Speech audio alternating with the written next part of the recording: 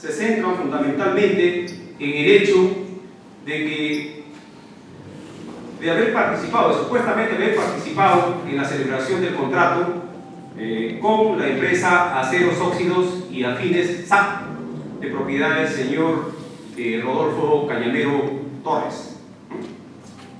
Aquí, nuevamente, nuevamente tocamos eh, la causal invocada por el solicitante de la vacancia, que es el artículo 63, que también señala claramente que el alcalde no puede contratar, rematar obras municipales o servicios públicos ¿no? en forma directa ni por interpósita persona.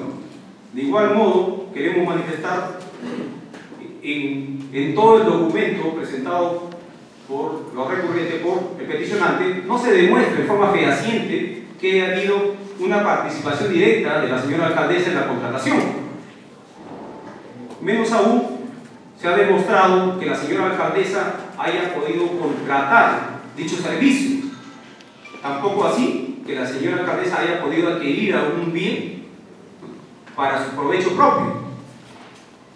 Con lo cual queda descartado que la imputación que el requiriente de la vacancia hace en su escrito correspondiente. A esto también hay que sumar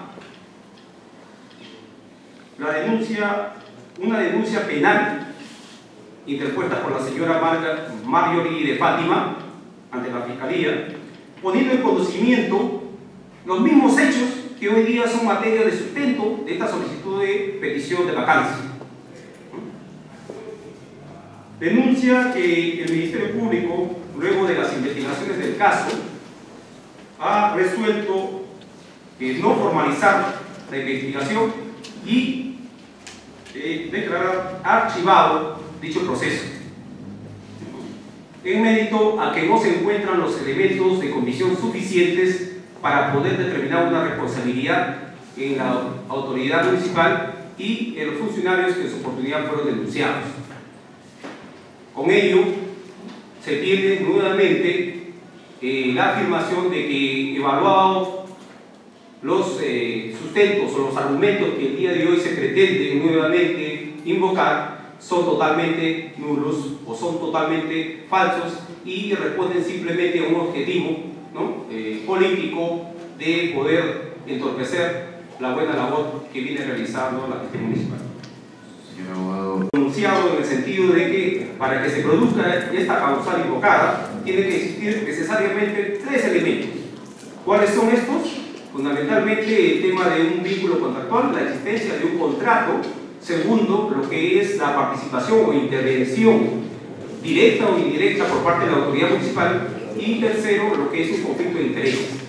Con respecto al primero, bueno, podríamos indicar que efectivamente este contrato existe y ha sido formalizado a través de una orden de servicio. Con respecto a, con respecto a lo que es la participación directa de parte de los funcionarios y de la, de la señora alcaldesa,